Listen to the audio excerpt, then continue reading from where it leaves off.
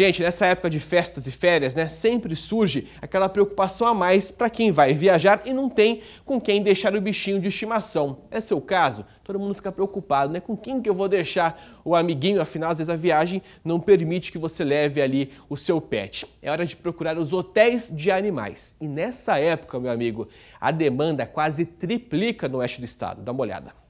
Aquela expressão bom para cachorro deve ter saído desse hotel em Álvares Machado, um verdadeiro resort para animais. E eles levam um vidão, viu? Não falta espaço para brincadeiras e tem até piscina. Opção para quem vai viajar e não quer deixar o cão sozinho. O hotel faz tanto sucesso que já atingiu a capacidade máxima de hospedagem. Antes do Natal, a gente já estava dispensando agora para o Ano Novo. A demanda é muito grande. É uma pena, né? Porque a gente não consegue é, atender mais. O dia todo tem atividade para os animais. Recebem tratamento que prioriza o conforto. São 24 horas de atenção e tem até serviço de adestramento. Nesse pacote cheio de cuidados, não dá para deixar os donos sem saber como estão os bichinhos de estimação.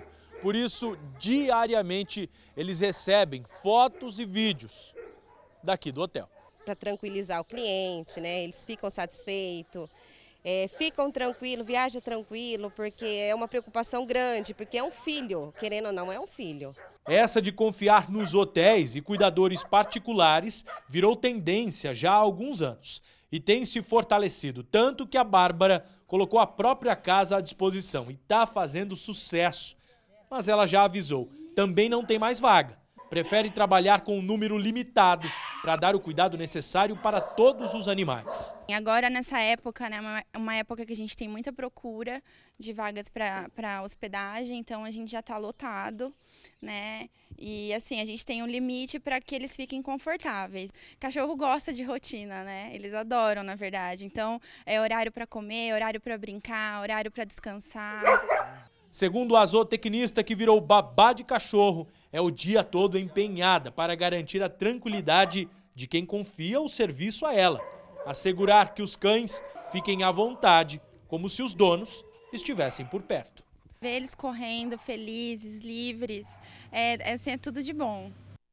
É muito legal mesmo, tanto que esse mercado movimenta muitos uh, bilhões de reais todos os anos aí no mundo. E tem também alguns aplicativos que fazem a relação, pessoal, de pessoas que querem receber animais durante a hospedagem e pessoas que estão buscando. É muito legal, você busca lá, eu tenho um animal de tal porte, pequeno porte, por exemplo, na cidade de Rio Preto, por exemplo. Aí a pessoa que tem uma casa e gostaria de receber, se coloca como candidata, como aí anfitriã. Depois você faz a negociação e paga para essa pessoa. É uma forma muito legal também, viu, pessoal? A diária hotéis de animais na região de Prudente varia aí de 50 a 80 reais. Dependendo do número de dias que você ficar fora, tem que colocar a mão no bolso.